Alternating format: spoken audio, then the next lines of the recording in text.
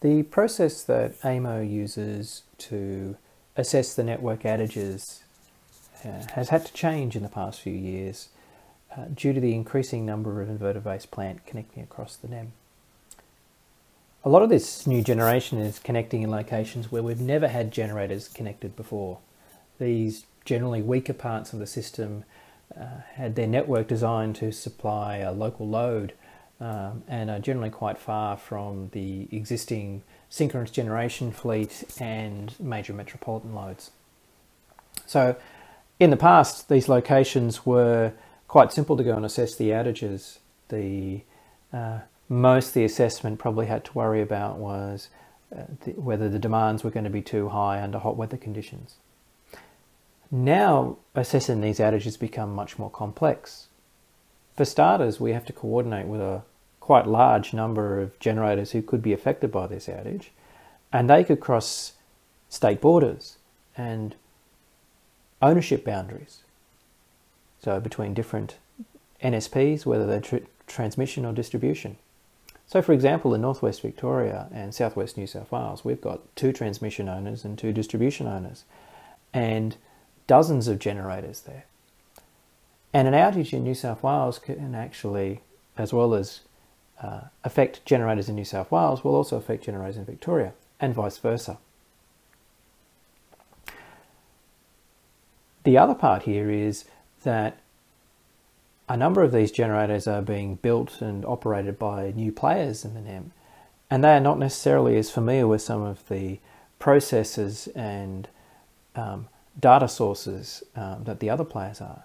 So they've got a steep learning curve um, to find out where to find the, the network outage list um, or find out what a constraint set is or why, why are they being curtailed.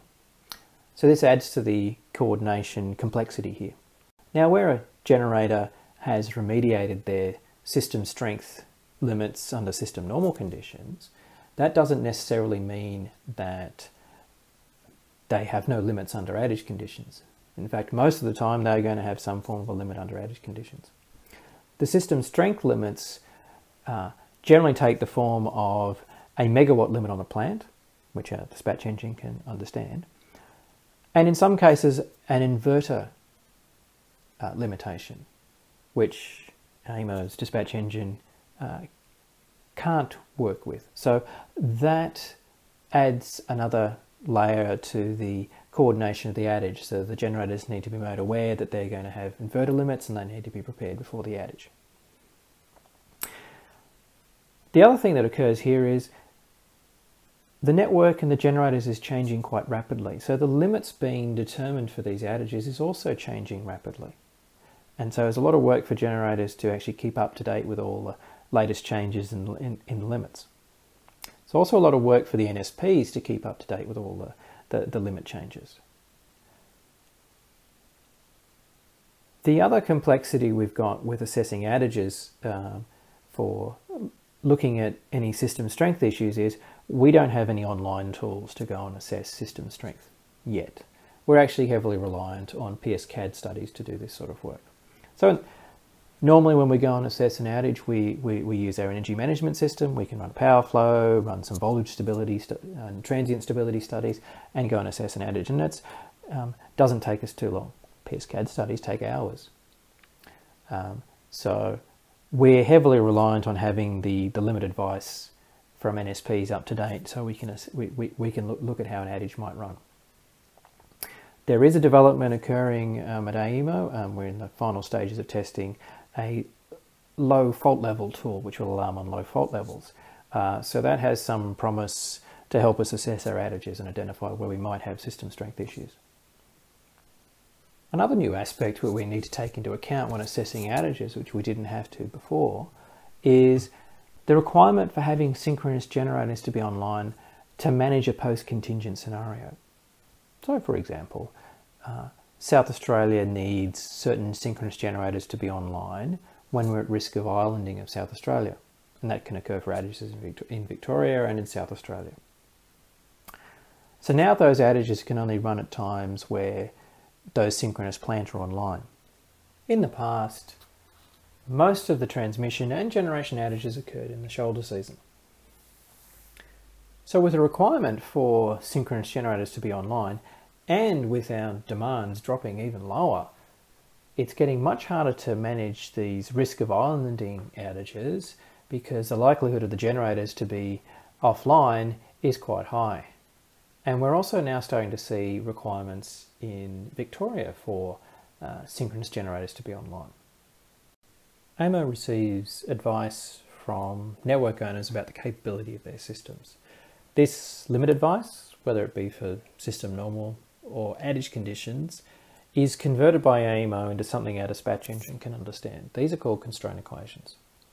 So, for example, uh, if a network owner produces a transient stability limit, they would generally go and run dozens, hundreds, thousands of studies in, in PSSE, perform regression analysis to produce a linear equation. We can then convert that linear equation into a constraint equation. And these can be relatively complex if there's lots of terms on this equation um, or there's some simple logic in there. Um, but we've had an established process for many years to you know, build and test and convert these in, into constraint equations. On the other hand, system strength limits are determined using PSCAD, which takes much longer to run, so there's a smaller set of studies that are run. In terms of the constraint equations we have for system strength, they run the full gamut from the most simple constraints we have in the system through to the most complex ones we have. So for example, in terms of some of the outages uh, I was speaking about in the previous slide, they're generally curtailing a generator under outage conditions to a simple megawatt limit, so 50% of output or 25% output. These are constraint equations look like generator less than or equal to 25% of output. Quite simple in, in, in those. They can get a bit more complicated if we have to deal with inverter limits. Now the dispatch engine doesn't deal with inverter limits, but we have a check in the dispatch engine, so if a generator is over its inverter limit, it'll actually get targeted at zero. So there's a bit of logic to find that piece. Then we get into our most complex constraints, where dozens and dozens of PSCAD studies have been run, and there are interactions with other generators in the network, synchronous condensers, uh, and so on. And so what you end up with is not a linear equation to produce a constraint equation. You end up with a lookup table. So what we have to do when we build a constraint equation is we have to go and build every piece of logic determining that lookup table into the constraint equation.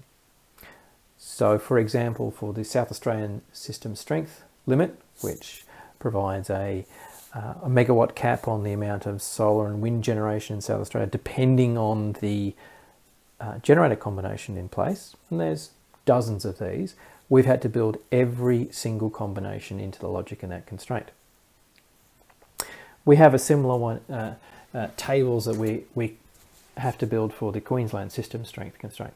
Where their complexity is, is not in, in the logic, there are less combinations there, but they are on a large number of generators. So we have to produce a, uh, up to 12 uh, equations uh, for a number of generators, so it's complex enough. So um, the com adding complexity constraints means also that uh, market participants uh, are having more difficulty understanding some of these constraints. Um, so there's a lot of work we're having to do with uh, participants uh, and understanding the constraints. Obviously with PSCAD it's more complex to calculate these limits and we have a quite a rapid changing system. So where we might have an outage 12 months ago, there's a whole batch of new generators that have appeared now, and we have to have the limits ready for that, um, for, for, the, for the outage now. And as every generator comes along, we need to go and recalculate the limits. Good afternoon, everyone. My name is Andrew Halley. I'm the Principal Operations Engineer at Tas Networks, and today I'd like to talk about the combined impact of low system strength and low inertia in islanded power systems. So the discussion items that I'd like to focus on are as follows. Recognise that low system strength and low inertia operating conditions can overlap at times. Recognise that low system strength conditions will allow low voltages to propagate further through the network during fault events than they otherwise would if, if there was more synchronous machines online the concept of voltage-induced frequency deviations, and throughout I'll try and provide some examples from the Tasmanian system uh, to just demonstrate how these things play out in practice.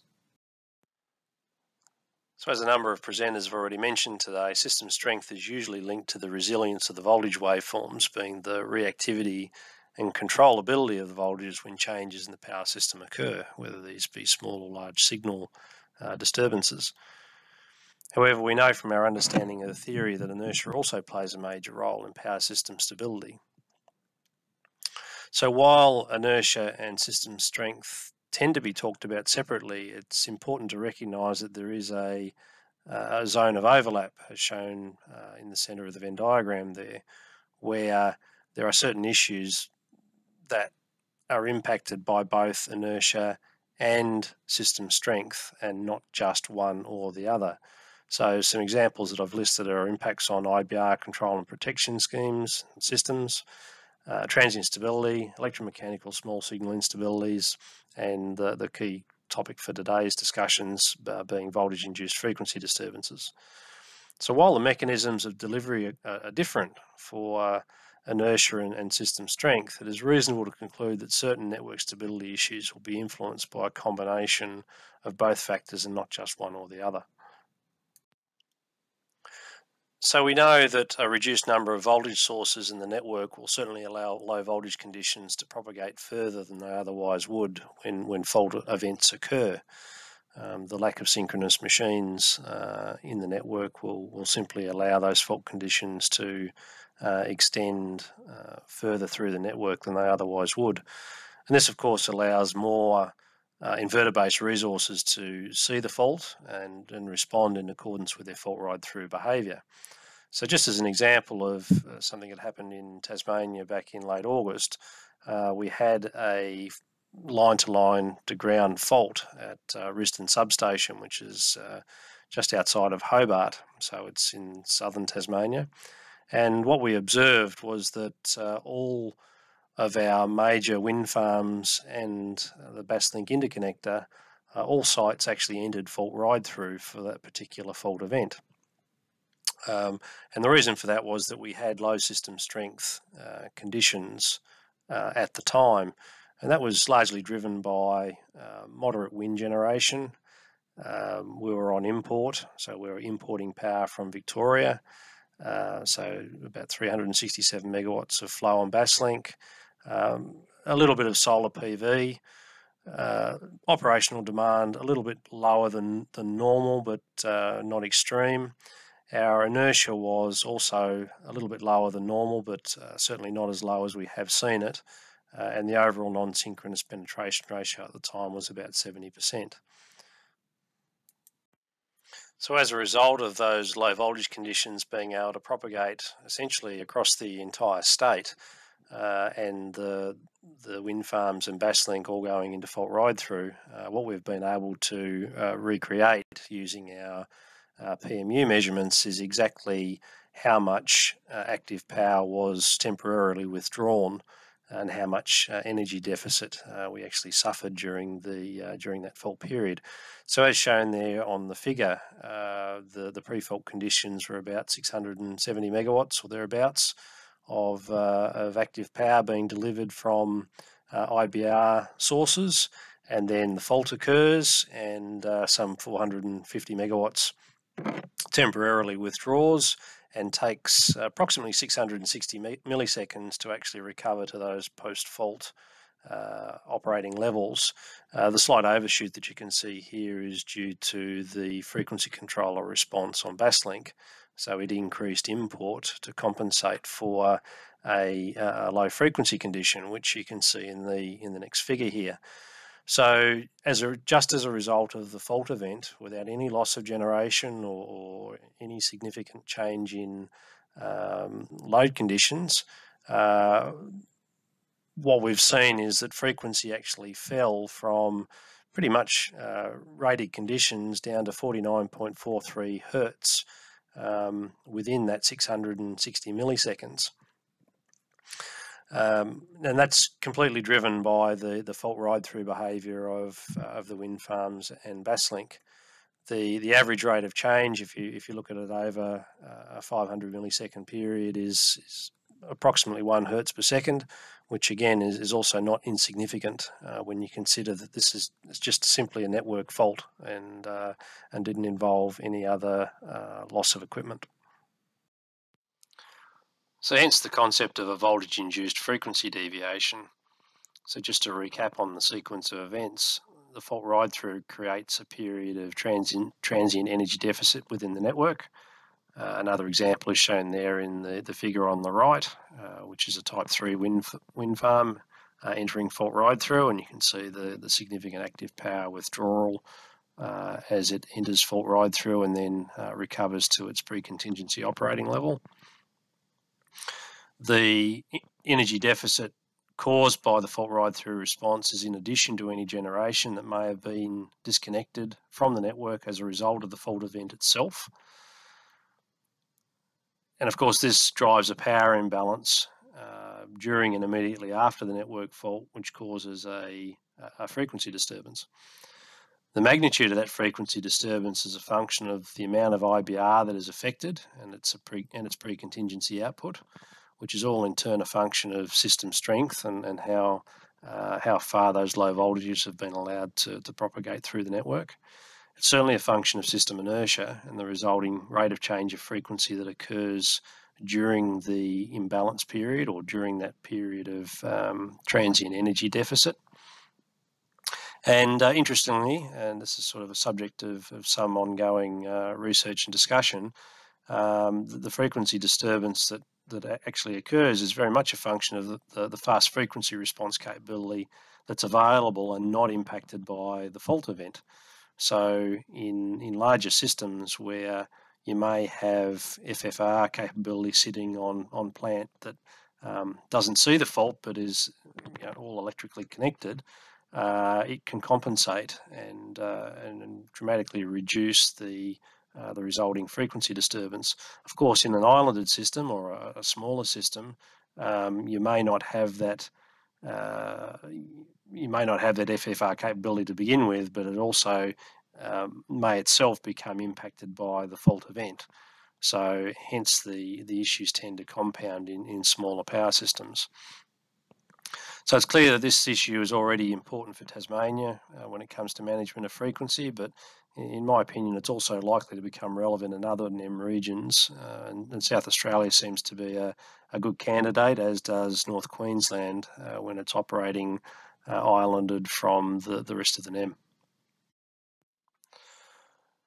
So just to consider the impacts on FCAS requirements and power system security more generally, uh, what I've done here is simulated uh, the loss of a large wind farm under a, a very onerous network condition that we experienced back on the 13th of September, uh, where we had 85, nearly 85.5% of, of IBR penetration, uh, made up of quite a lot of wind, very high import, and, uh, relatively low uh, system inertia. So the blue trace is loss of one particular wind farm, uh, just as a result of a straight trip and uh, and opening of the transmission line which connects it to the network. The red simulation, as shown there, is the uh, loss of the same wind farm, um, but with a with a fault applied. And as you can see, the difference in the frequency nadir is approximately 0.3 hertz, so quite a significant difference in relative terms. The, the RoCoF difference is also significantly different. Uh, the non-fault event is approximately half hertz per second, uh, whereas the application of a fault uh, causes RoCoF to uh, to rise to well, certainly over one and a half hertz per second. So it's clear that uh, the energy deficit due to IBR fault ride through needs to be properly considered when assessing power system security outcomes, and this sort of uh, simulated event certainly highlights the importance of uh, the active power recovery requirements, which are covered under Schedule 5.2.5.5 of the National Electricity Rules, and just how important they are uh, for smaller power systems and certainly the Tasmanian region. So just in summary then, uh, low system strength conditions allow voltage disturbances to propagate further across the network. As a result of that, more IBR will see the fault and uh, respond in accordance with it, their, their fault ride through strategies. Uh, that fault ride through response creates a period of transient energy deficit, uh, which drives uh, a larger network frequency disturbance than you would otherwise see. When system inertia is low at the same time, uh, that resulting frequency change can be substantial. There are definitely impacts on, on RoCoF uh, as well as FCAS requirements, and uh, that could in turn actually affect transient stability outcomes depending on network characteristics. And one issue that I haven't talked about today, but I'm sure that you can put your minds to and uh, and, and realise the, the potential impact of, and that is the, the risk of sympathetic loss of DER uh, due to low voltages and or high RoCoF, and, and how uh, any loss of DER, such as um, photovoltaics, uh, would only compound the issues that have been discussed. So thank you for listening. I hope you've enjoyed the presentation and uh, we'll talk again soon. Hello everyone. Today I'm going to talk about increasing need for system testing and monitoring. I'll use next couple of slides to set the scene before going into system testing and monitoring. Previous presenters have already alluded that the NEM, in particularly some regions of the NEM are moving from a synchronous generation dominated region to IBR dominated region. There is a growing concentration of IBR in the remote part of the grid, which increases the complexity of the system operation and could lead to undesired interaction between IBRs and system performance. One such undesired system performance was observed in 2015 when one of the lines was taken out of service. The system noticed 7 Hz voltage oscillations with 5% peak-to-peak magnitude. By the way, this was a localized phenomena. Fast forward to 2019, many of you would be aware about system strength issues in West Murray area and the constraint that was applied to limit number of inverters in that area. On 30th of November and 1st of December 2019, AEMO and relevant NSPs performed a series of power system switching tests in the West Murray area. The test involved opening of a transmission line for about 15 seconds. During the test, the constraint related to number of inverters online has been applied. Immediately after opening the line, 7 Hz oscillations were observed. However, the magnitude of these oscillations was ranging from 0.1% to 0.5% peak to peak depending upon the location. This emphasized the need to carry out system testing. The results confirmed the oscillation predicted by the earlier large-scale power system models. Taking one step further, the next slide shows how this oscillation looks like. Figure on the left shows field measurement at one of the sites while figure on the right shows benchmarking of the large-scale EMT model against the test. As you can see, the modeling of the system test successfully able to replicate to a certain extent what was observed during the test. The message here is that the system testing and benchmarking of model should complement each other.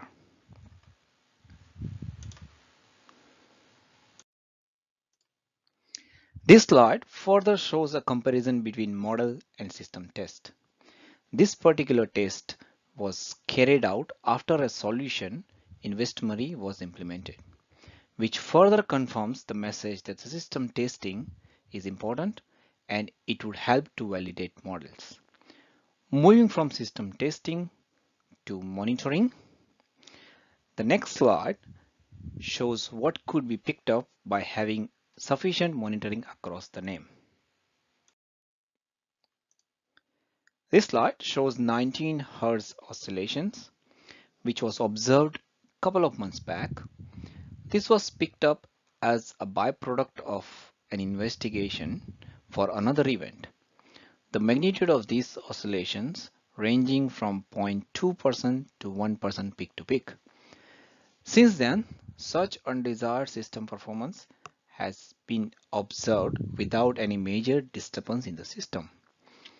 The magnitude of oscillations ranging from very low to sometime as high as 1.3% peak to peak. Another interesting aspect is that these oscillations are intermittent and last from 10 second to sometime 120 second, which makes it difficult to monitor through traditional SCADA system, which is too slow to capture such phenomena. In terms of improved monitoring and automatic detection of undesired system performance that can't be captured through slow SCADA system, in the last few weeks, AEMO has developed an in-house tool that monitors voltage anomaly in Northwest Victoria. Currently, it is only looking at one location. The limitation mainly because the high speed data for other locations in that area is not available to AEMO. The slide shows what this tool, which was developed in-house, picked up. These are 19 Hz oscillation.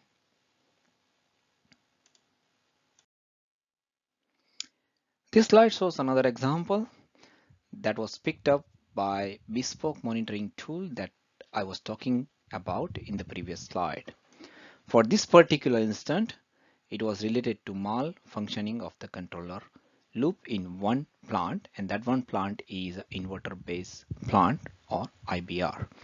Nevertheless, this shows the importance of monitoring in an area where large amount of IBRs are connected. So in summary, there is an increasing need to be proactive and facilitate systems test. Learning from system test would be complementary to modeling results. System test would facilitate identification of root cause. It is important to have real-time monitoring with synchronized measurement. That way, we can analyze system better. Increased monitoring would complement detailed modeling rather than replacing it. AEMO is working with NSP to bring in more PMU streams into AEMO system to improve monitoring. Thank you very much.